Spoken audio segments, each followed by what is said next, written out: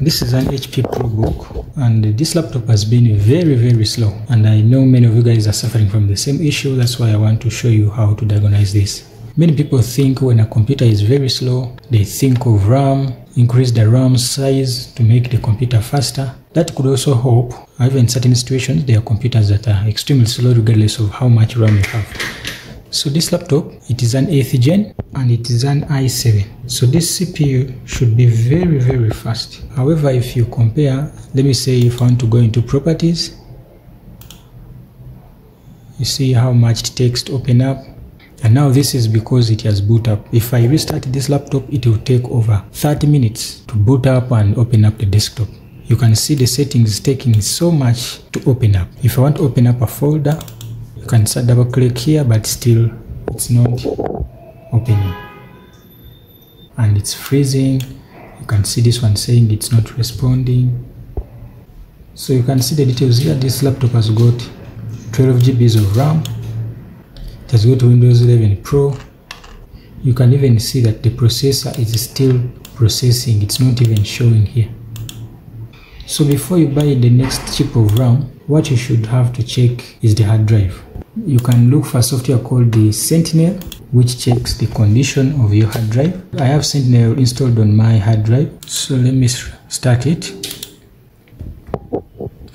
So Sentinel here shows that the hard drive I'm using is uh, 1 terabyte but the health is at 44%. The performance it says it is excellent. However, down here it says the drive found 32 bad sectors during its self-test. There are 32 weak sectors found on the drive surface. And here they are showing you the estimated remaining life, power on time, and start stop count. I've installed Windows. It had Windows 10 before. I put Windows 11, but it is still very, very slow. So the problem that is causing this laptop to be very slow is the hard drive. So I've got another hard drive here. This is a Toshiba, it's 500 GBs and I've already installed Windows 11 on it. And we are going to open up this laptop behind, replace this hard drive and see its performance.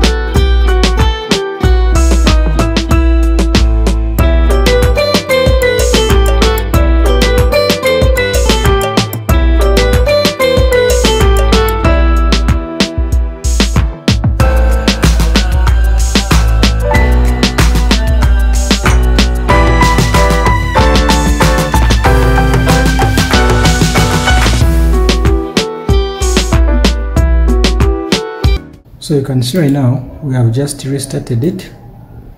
And uh, it can show you the so it can show you the details of the CPU because this is an Intel i7 8th gen 1.8 1.9 we have 12 GBs of RAM.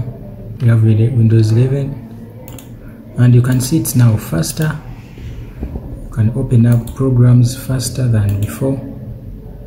You can open up folders close them uh, open up different parts of the settings. So guys if you have so if you have any computer that is very slow the first thing you have to check is hard drive. And as I've told you you can get that software which is called hard drive sentinel. It can help you detect if your hard drive is performing well. And to make your computer extremely faster you can go with an SSD instead of uh, HDD and by installing an SSD into your computer the speed will extremely increase. So thanks for watching. I hope you learned something from this video. If you like the video you can share it you can like it and if you have any question you can put them in the comments. I'll try my best to reply to them all. So thank you and I hope to see you in the next video